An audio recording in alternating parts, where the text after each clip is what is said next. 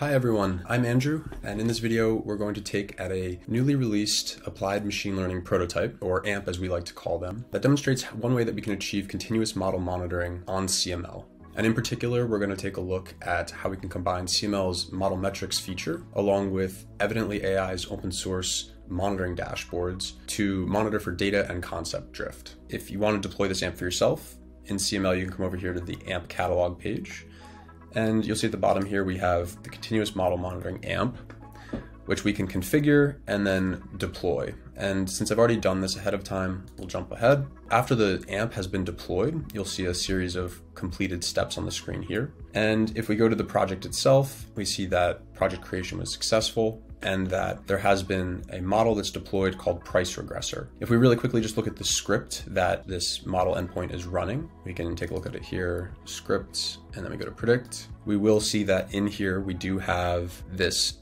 CDSW model metrics decorator around our predict function. And you also see that in here we're using CDSW track metrics. So we're tracking all of our input features and saving them as input features. Similarly, we're tracking the predicted result from every single call to this function is that there is an application up and running that is our price regressor monitoring dashboard. And so if we take a look here, we'll see it's a pretty lightweight dashboard that hosts three different types of reports.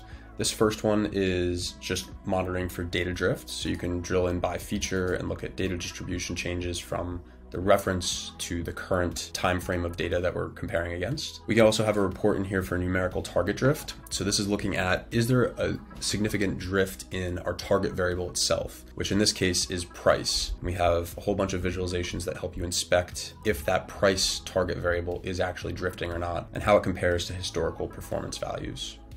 And similarly, then we have a regression performance dashboard that includes the ground truth value. So actually calculating error and different error metrics across our different sets of data, what the model is trained on versus the most recent time frame of batch of data that comes in. And we have lots of different visualizations that we can use to understand error and if our error distributions are changing. And then finally, you'll see that we can filter or browse by different batches of data, so different time periods. And this is a way that as a model maintainer, I can get a good idea of how my model is performing over time and how it may be degrading and when it may need to be retrained. That is a wrap for this video demonstration of our new AMP that walks you through one way that you can do continuous model monitoring on CML. I hope you've enjoyed this run through and that it was informational. Please do go ahead and deploy this AMP, run it yourself, and reach out with any questions. Thanks.